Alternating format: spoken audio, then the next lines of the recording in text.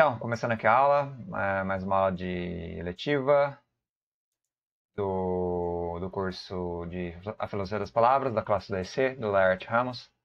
Alguns informes antes de começar a aula de verdade, né? Eu pedi para vocês sugerirem né, algum anime para mim trabalhar após do Entre Linhas Pontilhadas. Ninguém falou nada e eu escolhi um anime aleatório que eu achei que era válido, que eu não tinha visto. Eu acho melhor pegar coisa que eu não vi ainda e achei que é uma oportunidade para eu ver também. E eu resolvi pegar um que não seja japonês também, para não ficar nos clichês e nas retóricas japonesas. E não que seja ruim anime japonês, é bom, mas é, tem algumas coisas difíceis de fazer. Até pensei em pegar um que eu estava começando a ver agora, só que ia ficar meio complicado porque é um anime de um clube, eu vejo mais episódio por semana do que eu trabalharia em aula, né? A aula seria apenas um episódio e eu veria dois por semana por causa do clube, então não vale a pena. Então, fui na Netflix do meu irmão lá, emprestei a senha dele ter uma olhada em geral, assim, uma olhada panorâmica nos, nas animações em geral. Vi alguns episódios aleatórios de alguns animes que eu pensei em trazer, como Rick e Morty, como aquele do Horseman, alguma coisa. Eu não fico com a cara de Rick e Morty, sinto muito, mas não é meu tipo de animação. Não que seja ruim, mas simplesmente não é meu tipo de animação. Pode ter várias coisas legais lá, mas. Simpsons é legal, South Park é legal, mas eu não, não consigo, sabe? Não... É uma coisa particular, eu não sou fã desse tipo de estrutura de, de, de sei lá, dessa estrutura de, de, história, né? Desse modo de contar história. Embora eu gostasse pra caramba de Simpsons e tal. Rick Morty lembra bastante, né? Esse, esse, mesmo estilo, pode dizer assim. Eu queria um anime de verdade, né? De verdade, entre aspas. Um anime mais maduro, um anime que desse pra debater coisas. E eu encontrei em Entre Linhas Pontilhadas, que foi o anime que a gente trabalhou durante sete, seis episódios. Eu encontrei um anime que gostei de ver, gostei de trabalhar coisas nele, temáticas internas, e eu escolhi um outro só que esse outro tem um defeito. Ele tem nove episódios, primeira temporada, não sei se vai ter segunda, mas tem nove episódios primeira. Tá no título do vídeo, aí você já sabe que anime que é. É um anime que é baseado em LoL, né? Legend of Leagues. Eu não jogo LoL, eu não conheço a lore, que é o, o plot, o enredo, a narrativa mítica de, de, de LoL. Mas eu fiquei curioso para ver esse anime porque me chamou a atenção a capa dele, achei interessante a cor, né? Do, do, do, cartaz, pode dizer assim. Daí eu falei, ah, vou dar uma olhada, uma olhada e ver se ele vale para me trazer aqui para as aulas como se fosse o anime mote da, da próxima, pode ser assim, segundo bimestre, né, entre aspas, né, ou do próxima, tem aulas, das próximas aulas, né. E eu escolhi Arcane. Arcane é, então, esse anime steampunk. O que é um anime steampunk? Essa é uma das coisas que eu tenho que trabalhar já no conceito do anime, né? É um anime steampunk, totalmente steampunk. Acho que LoL deve ser steampunk, eu não sabia, eu não sabia que LoL era steampunk, ou só seu anime é ou não. Mas tem uma coisa que é uma cultura é, de visual, e não, além do visual de estética, é do próprio cenário mesmo. Quando você pensa em cyberpunk, você pensa em universos distópicos com grande tecnologia, com cyborg, robô, android, é, internet, conexões rápidas, a Legacy in the Shell, né? Cyberpunk ou Blade Runner, que também pode ser entendido como um cyberpunk. Um mundo que é extremamente tecnológico, avançado e ao mesmo tempo é decadente socialmente, né? Cyberpunk tem sempre favelas, periferias, violência, é, muito militarismo, muita tecnologia, às vezes também sexualidade. É um mundo de anarquia, normalmente, é um mundo de corrupção. Então, Cyberpunk pega muito para o lado da política, da corrupção, das grandes corporações, do capitalismo anarquista, os capitalismo anarcocapitalista, né, capitalismo selvagem, é, e do, do movimento mais punk, sabe? Cyberpunk ele vai pro punk mesmo, tá ligado? Já o steampunk, o steampunk é uma coisa mais assim, século XIX, começo do século XX, é século XIX na veia, assim.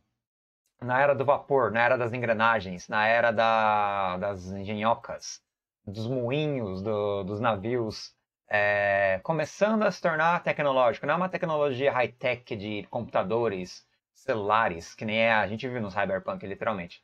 Mas é uma tecnologia mais, assim, mecânica, tipo assim, robótica, no sentido mais mecânico possível da palavra. É maquinal, é muito maquinal. E a vapor, steam, né? Vapor é metal, então é steampunk, também chamado de vaporpunk. Ou seja, a era da, da, das máquinas a vapor ó, do, do metal, das engrenagens, da primeira revolução industrial em geral.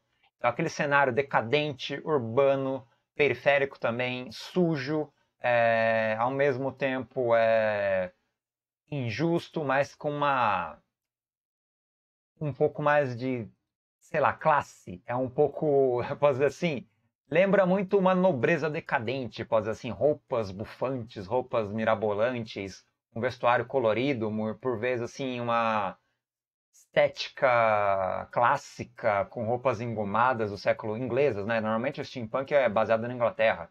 Então roupas inglesas, um estilo mais 1900, 1800, alguma coisa. Nessa transição da era da, da Revolução Francesa em diante, né? Que é era da, do, da grande Revolução Industrial mesmo. E Arcane é isso. Eu adoro steampunk. Eu adoro cyberpunk também, eu adoro steampunk. Eu sou, assim, sou fã de punk em geral. Mas enfim, eu gostei da estética do anime, eu gostei da narrativa do anime, eu achei o anime lindíssimo, muito bem animado. Arcane tá bonito, é, tá bem feito, é um 3D e umas cenas de ações fluídas com uma coloração, uma atmosfera muito bem feita, uma apresentação da, da narrativa visual, dos panoramas, dos movimentos dos personagens. E em geral, assim, é um 3D bem feito também, é um anime que tem um plot de verdade, tem conflitos internos de verdade e apresenta de fato um bom cenário para é, elaborar uma narrativa, uma narrativa não, elaborar uma análise dentro da aula. Qual o defeito do negócio? Cada episódio tem 47 minutos, pelo menos 47 minutos. A aula tem uma hora e meia. Isso é um baita problema. Quer dizer que eu vou fazer uma aula só aqui, de 45 minutos, mais ou menos 45 minutos, um pouco menos talvez. E a próxima metade da aula inteira, que é os. Vou começar a gravar em 50 minutos, só que em vez de gravar 50 minutos, eu vou terminar daqui, por exemplo, já é 2h38 agora. Eu comecei a aula 12h30. A aula vai até 2h15, a primeira metade. Então lá para o 2h05 eu vou começar a configurar as coisas, fazer, cortar aqui a gravação do OBS do YouTube, para subir no YouTube, cortar aqui a minha aula no meio. E a segunda metade da aula inteira, inteira, vai ser o anime de 47 minutos. É 47 mesmo? Deixa eu conferir aqui. 43, 43, 43, falei bosta. 43 minutos, mais ou menos. Mas tem a ending, então dá pra cortar um pouquinho disso aí. Mas, enfim. É, eu vou passar Arcane para vocês. Ah, professor, no centro de mídias fica bugado, blá, blá, blá, não sei o que lá. Vocês baixam aqui comigo, tá? Peraí. Ah, não tenho, não tenho Netflix. Não tenho Netflix. Peraí, deixa eu ver se isso aqui tá, tá online, né? Cancelaram a minha página. Ah, não faz isso. Sacanagem, sacanagem. Cancelaram a página do cara aqui, mano. Eu tava baixando uma página e essa página acabou de desaparecer. Eu vou achar ela, o link dela, daqui a pouco na. Daqui a pouco não dá tempo, né? Depois da aula, tá? Depois da aula eu acho o link de novo. É, os links dos downloads. para vocês poderem ver a primeira temporada. Eu baixei três episódios só. Eu posso ver na Netflix também, na verdade eu tô cometendo um crime aqui. Mas enfim. Mas o baixei para poder fazer para fazer melhor o vídeo, né, para mim transitar pelo anime sem estar na conta da Netflix e tal. Esse site aqui caiu, cara. Nossa, sacanagem, velho. Deixa eu ver. Copiar metade dele só pra ver se, se ele caiu inteiro ou só a série que foi tirada do ar por motivos de copyright. A série é da Netflix, né? Não, o site inteiro foi pro saco. É, bom, por enquanto o site não existe. Então é o seguinte, é, eu vou passar aqui, né, logicamente gravando a tela só para o pessoal do, do Centro de Mídias, não vou gravar com OBS isso para não dar strike no canal, para não dar problema. Então, vai, vocês do centro de mídias vão ver tudo pixelado, tudo bugado, se quiserem ver. Lembrando, para se ter presença, precisa ver a primeira metade da aula. A segunda, que é o anime, não. Não precisa, não, obrigado. Então, você vê a primeira parte, pelo menos a primeira parte. Viu a primeira parte, está com presença. Eu controlo isso agora, descobri que controlo mesmo. E dou presença para você, mas tem que ser inteira, tá? Esses 40 poucos minutos aqui da primeira metade, vê inteirinho ela. Esse debate que eu tô fazendo aqui, bem bolado agora.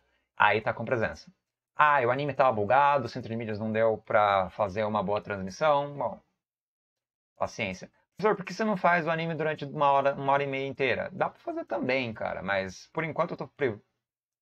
eu tô privilegiando isso de fazer o anime apenas em 40 minutos e depois dar o anime de fato para vocês por dois motivos grandes. Primeiro, vocês não escolheram anime.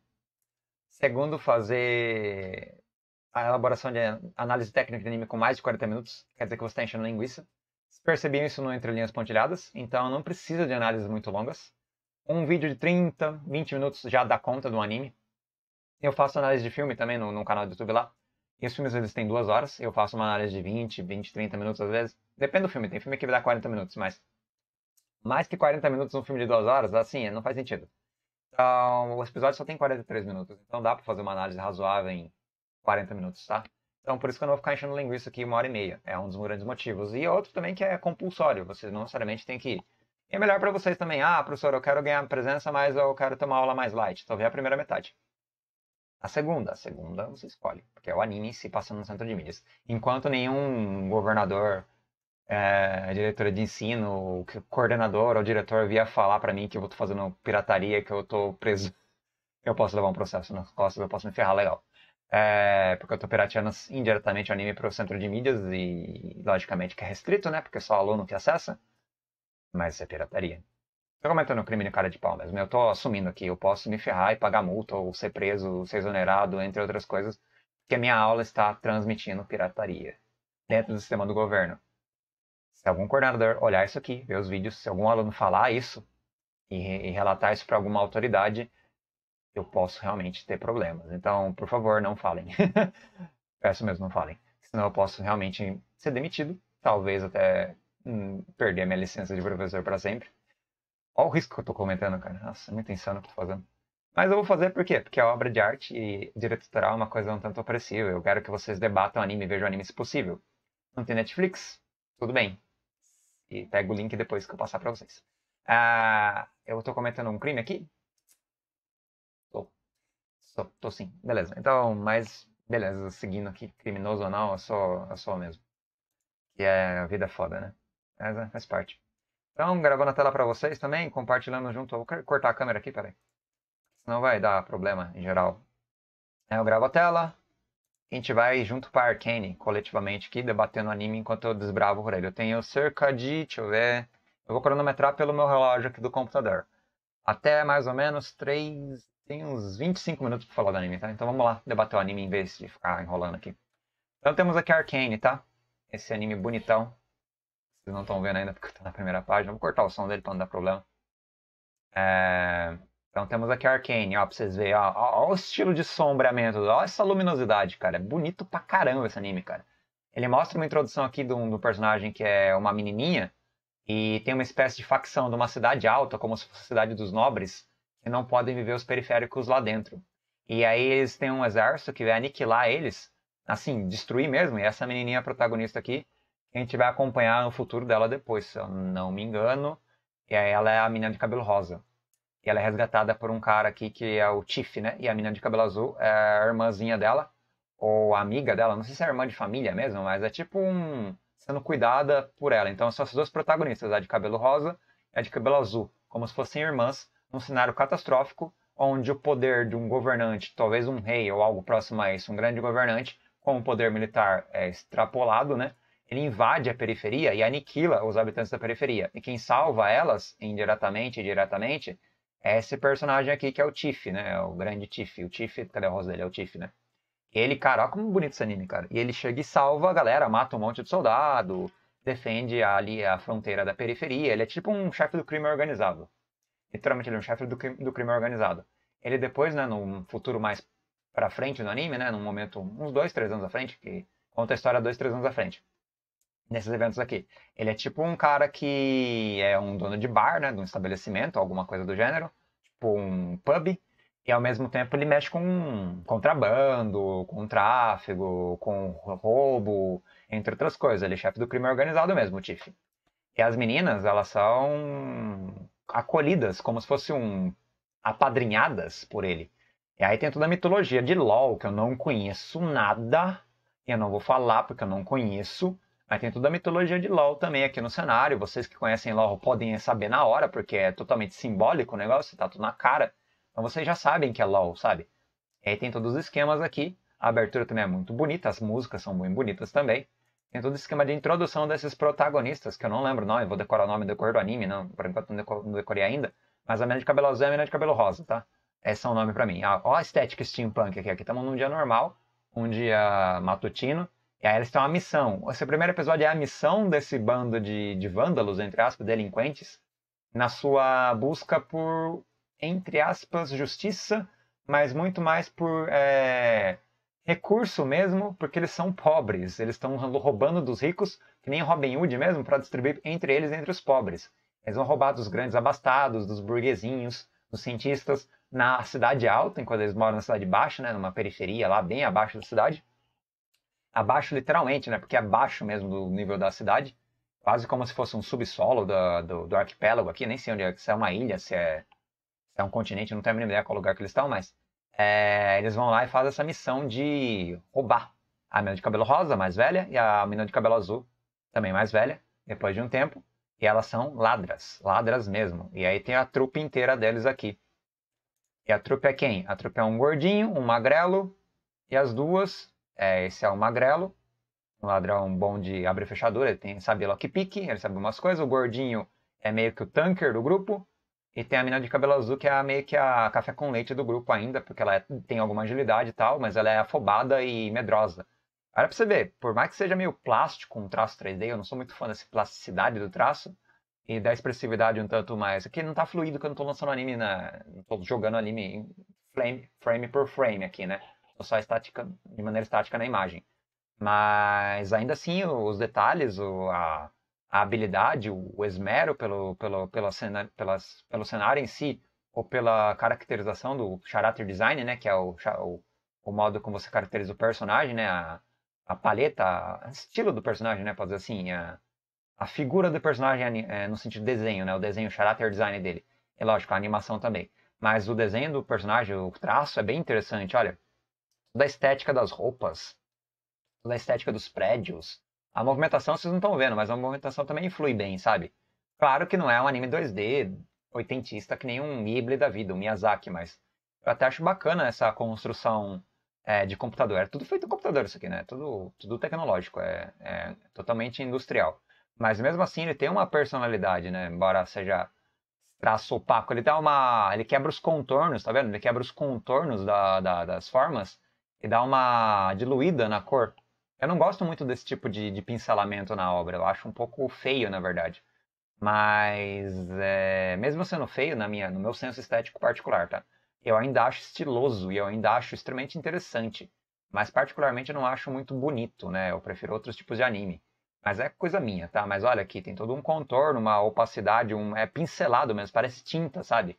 Esse efeito de tinta junto ao 3D, que é tinta mesmo, tinta, no caso, é computação gráfica, mas é uma tinta computadorizada. Mas dá uma atmosfera, uma, uma coisa bacana. Eu acho bacana pra caramba, acho muito bonito. É, pelo menos não é meu estilo, eu acho, não gosto no sentido de da diluição, mas eu acho que pelo menos a técnica é interessante. E a técnica ela gera certos efeitos interessantes, pequenos efeitos bonitos, né? Como um todo eu acho ainda meio feio, sendo sincero, mas ainda assim é interessante. Olha para você ver o cenário, ah, reflexo aqui. Então essa, essa, esse bando de ladrões, né? Esse grupo de ladrões, é, toda a interação deles para desbravar a cidade através do telhado, eles vagando como gatunos no telhado, é bem legal essa cena de gatunos. Eles encontram uma casa, eles arrombam uma casa pelo, pelo sótão, sótão não, pela, pela varanda. Aí é a casa de um grande cientista. Eles não sabem quem é esse cara, não interessa também. Eles querem simplesmente as bugigangas. Para as bugigangas serem o quê? O. É, como é que um ladrão rouba? Como é que é o. Quando um pirata faz um saque. É um botim. Eles querem o botim, o botim do saque. Então, o saque, o que é importante são os objetos. Aí eles vão lá, tem todo um esquema de, de, de ela ser menosprezada um pouco pelos grupo, pelo grupo em geral, né? Tirando a melhor amiga dela, que é a de cabelo rosa, o gordinho, principalmente o magrelo, ficou um pouco, ah, não, ela sempre faz besteira, ela sempre faz besteira. De fato, a personagem de cabelo azul, ela faz umas besteiras de vez em quando porque ela é meio desastrada. Mas eles vão lá roubando o butim, e lógico, é totalmente previsível que vai acontecer. Eles estão lá na casa, é, vazia, né? Que eles sabem que tá vazia, roubando a galera, e aí o dono da casa chega.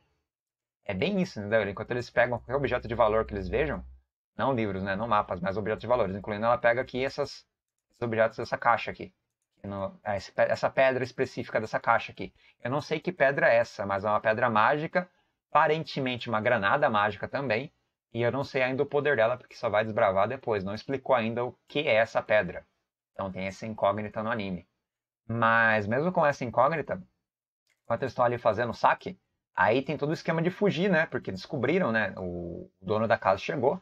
E aí eles descobrem, eles começam a fugir. Então, todo esse esquema de, de crítica social sobre a periferia, de como uma, uma criança, eles são crianças, são jogados no mundo do crime, uma sociedade onde é violência e, e alguma pomposidade. Essa casa gigante, com um monte de livro, com um monte de dinheiro, né? O cara não é pobre, o cara é bem, bem, bem dotado, não é uma palavra ruim. Ele tem uma renda, sabe? Uma renda alta, ele tá numa cidade alta, ele é um nobre, entre aspas, né? É uma elite, ele é da elite.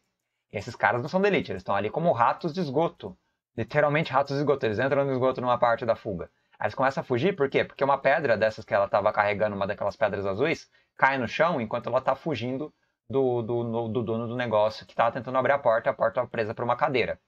É legal porque quando ela cai, ela não sabe o que vai acontecer com a pedra. A pedra cai do bolso dela, ela tenta pôr todas as pedras no bolso, uma delas cai, essa pedra ela vai rolando, rolando, rolando e aí, vira um efeito em cadeia, efeito em cadeia gera uma explosão, ela destrói parte do prédio. E quando destrói parte do prédio, todo mundo descobre que elas estão roubando. Aí a fuga é essa, a fuga é fugir pelos telhados, enquanto tem aqui os escombros, né, é, da destruição do prédio, e os guardas correndo atrás dela que nem louco, das meninas e dos meninos. São quatro do grupo, né?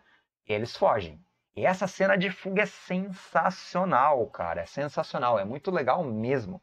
Você tem uma animação muito bacana deles desesperadamente correndo. Esse que tem, a única que tá segurando todo o botim na mão é ela com a mochila, a menina de cabelo rosa. O resto tá sem, nenhuma, sem nenhum roubo. Tirando a menina de cabelo azul, que colocou as pedras no bolso dela. Aquelas pedras num, num um recipiente perto da, da cintura dela que ela tem, que é quase uma pochete. Aí a cena de fuga deles fugindo e pela cidade, aquela fuga urbana, parece cinematográfica assim. Depois vai mostrando a paisagem, mostrando os becos, as vielas, e eles fugindo desesperadamente da polícia. E é da hora pra caramba. Aí eles chegam num ponto eles conseguem despistar e pulam pro esgoto. É uma cena muito boa essa cena.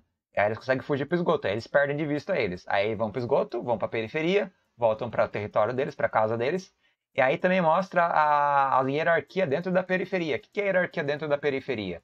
É, tirando a parte que eles xingam a menina de cabelo azul, porque foi ela que causou a explosão, e nanã, sei lá, ela é desastrada e blá blá blá. E daí deu toda essa treta da fuga e tal. Mas enfim, elas são grandes amigas, então não tem nada de errado entre essa fuga e tal, né? Mas aí eles encontram os low life. O que, são os low life? A pessoa da, das ruas, os guetos, né? Esse cara aqui, por exemplo, que é o chefe dos caras do gueto. Tá ali, né? Vadiando, né? e percebe que eles estão voltando do butim, né? Voltando com o butim do roubo, né? Ele quer fazer o quê? Dar uma prensa, né? Já que eu sou um low life, eles também são um low life, vou ladrão que rouba ladrão, mil anos de perdão. Então eu vou roubar o butim dos caras, ou seja, zoado, né? Roubar o lucro da galera. Aí eles brigam, brigam mesmo. E o soco deles é as, as lutas de soco que eles saem na mão. É uma gangue brigando com a outra, né? Um, alguns adolescentes brigando com outros adolescentes. E cara do céu, a luta é muito legal também é muito bem feito, assim, os socos, a coreografia, é, o estilo de combate, é um estilo bem briga de rua, não tem nada de arte marcial. É briga de rua na veia, e o gordinho é bem tanker mesmo, ele é truncado, ele é fortão, ele arrebenta com a galera, a mina de cabelo rosa também é bem tática e vai soco, sangue, sei lá o quê, e a mina de cabelo azul acaba ficando com sacola. E aí um cara persegue ela e ela foge desse cara. Aí tem toda uma fuga e é muito legal essa fuga porque mostra o quanto ela é de fato limitada. Ela só consegue fugir, ela não tem nenhum tipo de habilidade para brigar. Ela é bem café com leite mesmo. Enquanto todo mundo tá se lascando ali no meio da galera, ela tá desesperada, foita ali, não tem o que fazer, e ela começa a fugir. Aí a, a menina de cabelo rosa e os caras acabam vencendo a batalha. Spoiler, né? Eles acabam vencendo a batalha. Aí tem esse esquema ali de as consequências desse conflito, que são posteriores, né? As consequências em relação à briga de gangue. O que acontece com esse cara aqui, que é o líder da gangue que tentou roubar o, a mina de cabelo rosa e, e a gangue que roubou lá o botim. Aí o negócio começa a ter um plot no anime. Aí é tipo um gancho pro anime deslanchar. Aí você vê toda a estrutura da periferia, todas as ruelas e todos os esquemas. Ele até pensa em sacar uma faca, essa parte é legal. Ele saca uma faca, não, agora eu vou dar um de macho aqui. Ela olha assim pra ele, né, a menina de cabelo rosa, fala: certeza mesmo? Você quer dar um de macho mesmo? Você, tem, você aguenta o tranco? Você, você tem certeza disso? Aí ele dá uma baixada de bola. Aí ele não aguenta. Aí, acontece com o botim, né? Com, a, com o lucro delas. Ela tá fugindo desesperada. Só que ela tá sendo perseguida. Ela ia levar um pau, assim, ela ia ser roubada. Ela ia ser roubada e ia perder o dinheiro. Só que nisso ela, sem querer, ela sacrifica o botim. O botim cai no rio, no lago. Ela sem querer sacrifica o botim para fugir.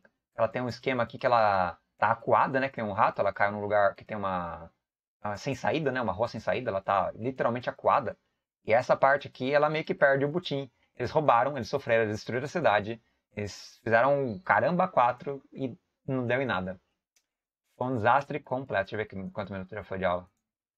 Foi um desastre completo. Foi um zero à esquerda generalizado. Então foi muito triste isso, né? Eles não conseguirem o que eles queriam lá. Aí ficou um puto com ela, porque ela perdeu todo o lucro do roubo. Eles vão lá e eles vão voltar pro refúgio deles, né? Volta pra cidade deles, volta pra periferia. Essa cena que eles chegando na cidade é ótima, cara. É muito legal também, é uma boa cena, muito bem. É, a, a atmosfera é ótima, cara. É assim, periferia steampunk, velho. Aí tem todo o esquema das prostitutas, dos low-lifes, outros low-lifes, é pequenos ladrões, estelionatários, é, a galera que vive ali no, no, no completo. Ó, pra você ver essa estética, cara. Tá muito bonito o anime, cara. Tá muito bonito. Assim, tá muito legal mesmo.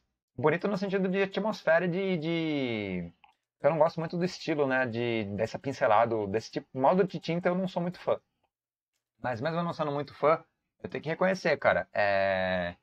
é a caracterização do cenário tá ótima. Tá ótima mesmo. Sabe quando eles voltam lá pro, pro, pro refúgio deles, né? Que é pro bar lá do chefe, Tiff. Aí o Tiff sabe que eles fizeram um esquema lá. E a notícia começa a correr. Que notícia começa a correr? Que alguém invadiu a cidade alta, roubou e destruiu propriedades. O negócio foi feio. E o negócio deu, deu eco, deu, deu problema.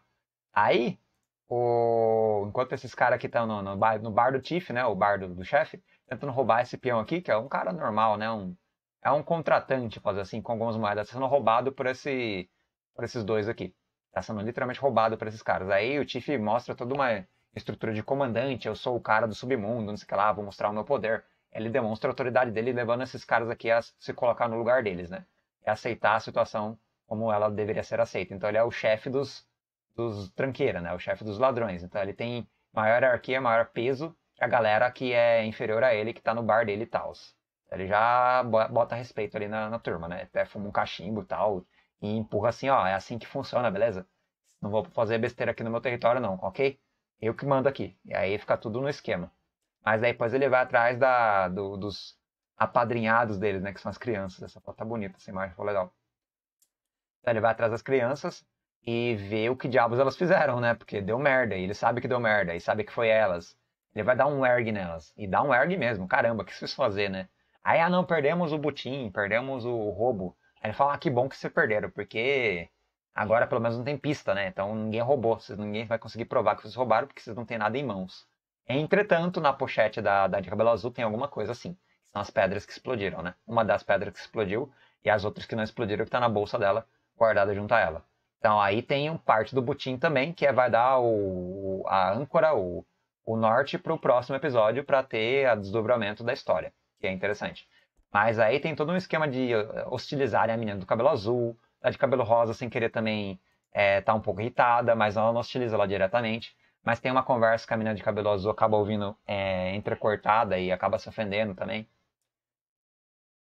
Sendo abandonada pela irmã, irmã de, sei lá, de vida, né? Não sei se é irmã de verdade. E o Chief matando a pau na sua gerência de mundo do crime. Ele é o protetor, é o grande. É o grande pai, assim, pode ser o good father, ser o mafioso gen general, né? Ele dá todo um esquema, um discurso. As falas são bonitas, a estrutura de, de roteiro, porque tem um roteiro legal, esse roteiro de contar a história é, dessas desses personagens aqui. É um roteiro que é empático, você fica com um grande vínculo com eles. Aí ele até pega uma, uns coisas que ele tem mesmo, dele mesmo, um, um tipo de, de quinquilharia, umas quinquilharia que ele tem, e finge que foi roubado dessas quinquilharia. Por quê? Porque ele vai levar lá pro contratante dos moleques os moleques eles tinham um contratante. O contratante era um cara de um bar lá, tipo um cara que oferece serviços. Caso você queira fazer serviço, você vai lá, faz o serviço, leva para ele o resultado do serviço e ganha uma grana em troca. Então esse cara contratou a gangue, que é a gangue de moleque, né? Ele leva para esse contratante é, um butim falso, né? Que são as próprias coisas que ele angaria. Aí quando ele vai para esse bar aí, com essa pedra que ela manteve, né? Ele vai para esse bar aí desse contratante, Aqui tem a cena que a de cabelo azul se sente ofendida porque ele começa a falar mal dela. Depois ele leva um erg, esse magrelo leva um erg da de cabelo rosa. Porque ele exagera, né? Ele é bem toscão, ele fica jogando na quase os outros, mas ele mesmo é uma perso um personagem bem fraco e bem é, hipócrita, pode dizer assim. Então ela joga tudo na cara dele. Aí, mas a cabelo azul não percebe isso porque ela não estava mais ali. Ela fugiu depois de um tempo. Então ela não sabe. Ela queria falar que tinha mantido parte do butim com ela, né? De cabelo azul. Só que ela vê essa conversa, ouve pela porta e depois ela fica toda fragilizada, porque ela.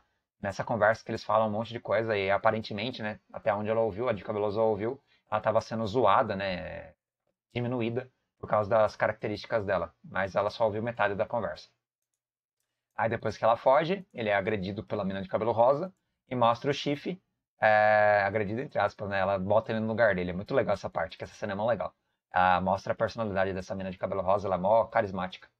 Aí mostra o chifre também, que é um personagem bem legal, é, conversando com o contratante. Esse aqui é o contratante. Esse contratante aqui é, mostra ali o pseudo Butim, daí tem todo um esquema ali de storyteller, de como funciona a vida no submundo, blá blá blá. Esse moleque de cabelo branco é legal pra caramba também. Esse aqui é o gordinho que foi fazer um suporte ali pro, pro Shift também, ajudar ele qualquer coisa precisar, virar o vigia, né? Aí entra a guarda e a guarda corrupta, não é a guarda qualquer guarda, vem os guardinhas lá do, do Raial, da Cidade Alta, né? Dá um erg na galera da Cidade Baixa, conversar com o chefe do crime organizado, que o chefe do crime organizado é exatamente o Tiff, né? Que eu não lembro o nome dele, mas é o Tiff, chama ele de Tiff por enquanto. Aí entra aqui a general, a comandante, é, e fala dos contratos. Esse aqui é o, ah, o, o, o sidekick dela, né? Um sidekick meio nada a ver. Ele é meio toscão, mas depois ela entra e dá uma ordem no, no esquema, né? É, a ordem no esquema é a comandante. Aí a comandante conversa com o Xi e falou, ó, oh, cara, foi pesado o que fizeram, vai dar problema, não vou conseguir controlar, vamos ter que ter um payback, vai ter que ter um pagamento, isso aqui não vai ficar barato não. O, o dano foi amplo, o roubo foi exagerado, e assim, vai ter efeito colateral e não tem o que eu fazer. Eu vou trazer a galera que vou macetar vocês. Se você não me der um nome, se você não entregar alguém, se não tiver um laranja aqui, qualquer que seja, ou não entregar o culpado, a gente vai arrebentar com a periferia. Foi o que ela falou. E aí, no episódio seguinte, que é o próximo episódio, talvez ela volte mesmo para arrebentar com a periferia. Enquanto tem esse esquema aqui de, de novamente, de é, steampunk, que é esse moleque aqui que eu acho mó gente boa, achei ele legal pra caramba. Ele fica escutando e vendo através de um mecanismo aqui, ó. Esse mecanismo aqui nessa ponta é tipo um binóculo bem estranho, tipo um monóculo de submarino, e também um escuta de submarino. Ele ouve a conversa inteira. Ele sabe o que aconteceu com, com o Tiff e com a, a mina ali da, da guarda real. Mas esse episódio é mó foda, cara. E eu achei muito bem, uma boa introdução para uma história, sabe? Eu gostei bastante da introdução. Aí depois também mostra o lado da, do, do verdadeiro inimigo, né? Quem é o verdadeiro inimigo desse, desse anime, o Arcane? Tirando aqui as partes das engenhocas do Simpunk, que é ótimo, cara, essa vitrolona aqui, genial. Ah, aí tem os inimigos, né? E a menina de cabelo azul toda chateada, né? Por não ter conseguido. Ela é engenheira, na verdade. Ela é uma, ela é uma grande cientista. Ela é tipo uma. Posso assim. É, como é que é o nome quando você é um personagem que cria coisas? Não é, eu não lembro o nome agora da classe de personagem que, é, que faz essas bugiganga. E é quase como um buffer, né? Ela é quase um buffer. Ah, tem um nome pra isso não é bardo, mas é um, uma pessoa que é buffer, né? ela bufa os outros amigos, né? ela é suporte, é um personagem de suporte. No RPG ela seria um suporte.